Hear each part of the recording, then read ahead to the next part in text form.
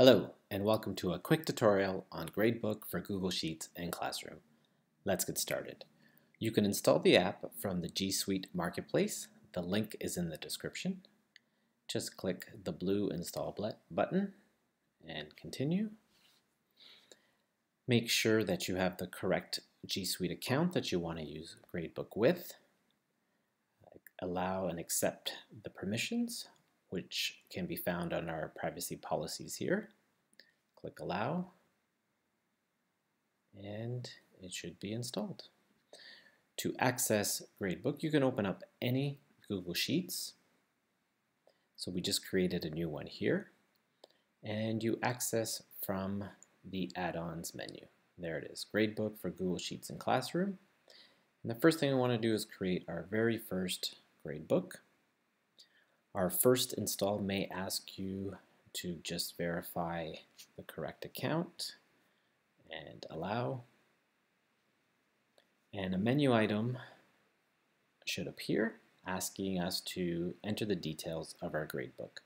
So there are a couple types that you can choose from, standard weighting, category, total points, or all three of those with terms or semesters. We will choose a category-based one. Let's include some sample students to see how everything works. We can reduce the number of assignments. This we'll just call a demo class. And you can enter other information such as the course code, course period, your teacher name, school name, and school phone. We also have an attendance worksheet that if you wanted to include. For this demo, we will say no. Then click the Create Course button and Gradebook will work in the background to create your gradebook with all of the information that you have entered. And there it is. New course is ready, gradebook, our demo class, and here it is.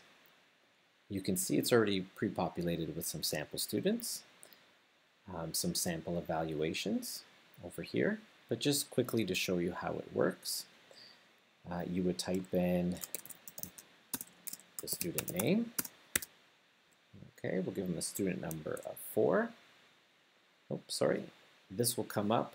Just a reminder that you want to set your categories because this is a categories-based grade book over here. Make sure that they do add up to 100%. So in this one we have quizzes 15, tests 30, assignments 25, and exam 30. But you can change all these values and the names to anything you want but just make sure that the percentages do add up to 100%. So back to gradebook at the bottom here, you can see the tabs, gradebook there. Um, sample evaluation 1 is out of 10. We will give this student an 8. You will see that 80%, their average is 80%. Uh, for this one, we will give them, say, a 15, and it calculates their final average here. To enter a new assignment, you can just put it here, sample evaluation number three, oh sorry, three.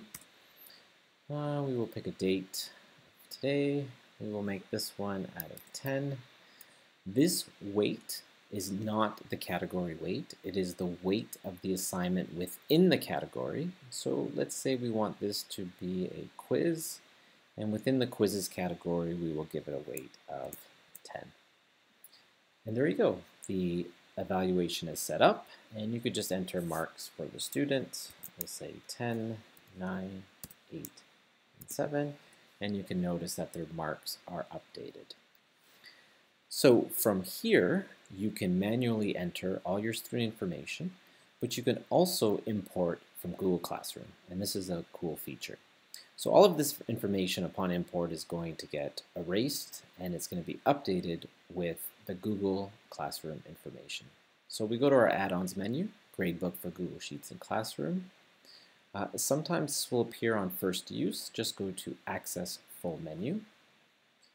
And now the full menu comes up and we have tons of options. So the one that we want is Import from Google Classroom.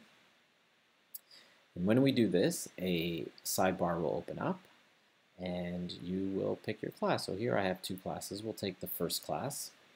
Uh, notice that when you import from Google Classroom, the mark in Google Classroom takes precedence and it will override any marks that you manually enter in Gradebook. Um, however, if you want to add an assignment in Gradebook that is not part of Classroom, you can do that and it will not be overwritten on next import. Let's update our grades here. So all of this information here, because this was just sample data, it will get um, removed and updated with all our students from the Google Classroom and all the evaluations and marks and everything from Google Classroom. So while it's doing that, uh, we can look here on your Google Classroom. So we have some student work here. We've entered their marks, their assignments are, have come in, and Gradebook has now completed the import. Notice that we have all the students that are in Google Classroom over here. They automatically came in. All the assignments that are in Google Classroom, we'll close this, are now here. So assignment 1, 2, 3, and 4. Notice that a mark has already been calculated for them based on the total marks which were entered in Google Classroom.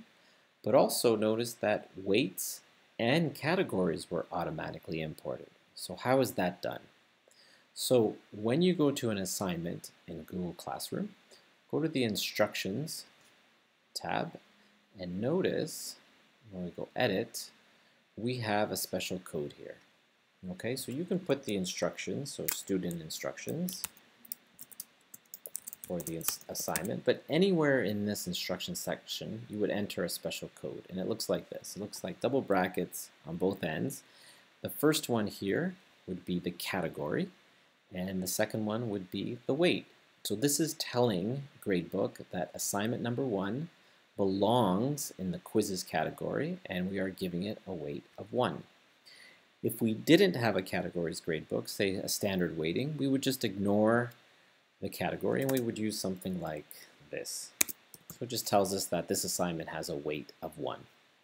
But because we have a category 1, there we go. So now Gradebook took all the information from Google Classroom.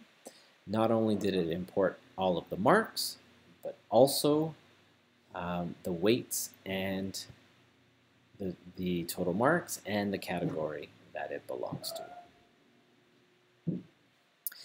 So what can we do with this? We can also ignore assignments. Here's another special code that you can use.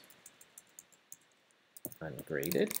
So if you put this into the instruction section of Google Classroom, um, it will actually not import this assignment. So let's say it's not for marks, you don't want Gradebook to see it, just put this special code here. So now upon next import, assignment 1 will actually be removed. Import from Google Classroom. Notice the class will automatically appear now because we selected it and go to update grades and we can see what's going on here. Okay, so again, back to Google Classroom while that's happening. Uh, just in the instruction section, you can put these special codes so that it will now calculate the final grade, the weighting, and the category. So it's just finishing up here. Let's keep an eye on assignment number one where we put ungraded. And let's see what happens here.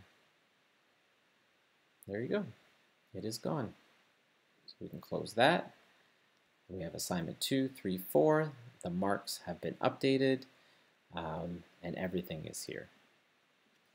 So that's just a quick tutorial on how to use Gradebook and how to import from Google Classroom with some special codes.